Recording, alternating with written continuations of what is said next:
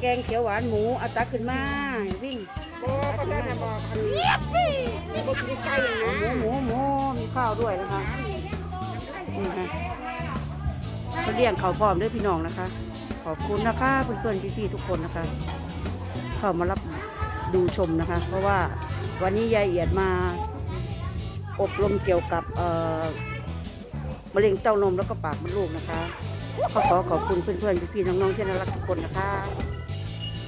ชอบก็กดไลค์กดแชร์กด subscribe กดติดตาม และอย่าลืมกดกระดิ่งด้วยนะคะ จะได้ไม่พลาดคลิปต่างๆของยายเอียดนะคะ โอ้ยหอมมุยหุยเลย แกงเขียวหวานนะคะ มากินนำกันเด้อพี่น้องเด้อนะคะ